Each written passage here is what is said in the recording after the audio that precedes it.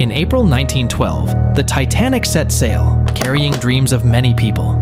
On board, there were different people, some rich, some hopeful, and others determined, but all with the same destination. But one night, disaster hit.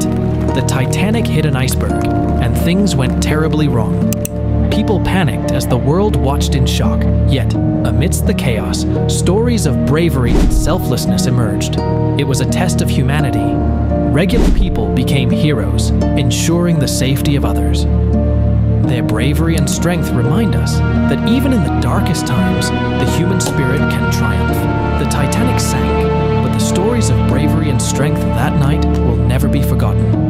Let's honor the survivors, the heroes, and the enduring spirit of humanity that emerged from those dark moments.